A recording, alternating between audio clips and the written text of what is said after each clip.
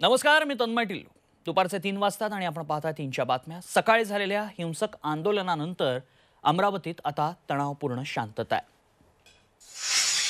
शहरात एकशे चव्वेचाळीस कलम लावण्यात आलाय. शहरातल्या राजकमल चौक नमुना गल्ली ऑटो गल्ली नेहरू गल्ली चित्रा चौक या परिसरात तोडफोडीच्या घटना घडल्या.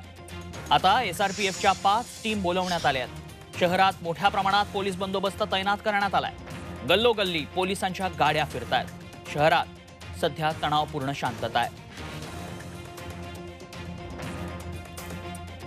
याचा आढावा घेतला आमचे प्रतिनिधी अमर काणे यांनी. अमरावती सकाळच्या हिंसक आंदोलनानंतर आता तणावपूर्ण अशी शांतता आहे आणि अमरावतीचा जो चौक होता राजकमल चौक तिथे सगळ्यात जास्ती उद्रेक झाला होता. सगळ्यात हिंसक वळण जे मिळालं होतं ते अमरावतीच्या राजकमल चौकात मिळालेलं होतं. आणि बघू शकतो त्याचे जे हिंसक आंदोलन झालं होतं कसं तोडफोड झालेली या परिसरामध्ये आपण बघू शकतो.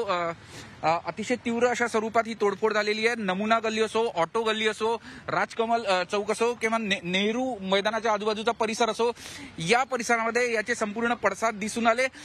काही ठिकाणी ते जाळपोळीचं झाल्याचं सुद्धा दिसून येत आहे. कशा पद्धतीने इथून आता दुपारचे अडीच झाले. आहे आता पूर्ण तणावपूर्ण शांतता आहे. शहरात संचारबंदी लागू करण्यात आली आहे. पोलिसांचे वाहनं फिरत आहे. एसआरपीएफला बोलवण्यात आलंय.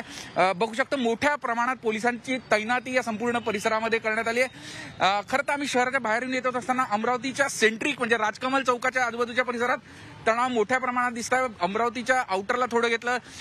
थोडं बाहेर गेलं शहर या या परिसरापासून दोन ते तीन किलोमीटर तर सगळं काही सुरळीत सुरू आहे. पण इथे अतिशय तणावपूर्ण अशी शांतता अजूनही आहे. अजूनही काही आंदोलक येतात घोषणाबाजी करतात आणि जातात.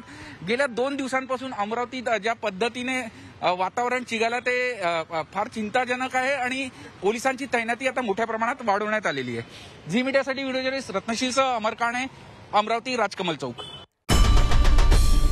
आई भवानीचा गजर. म्हणजे तास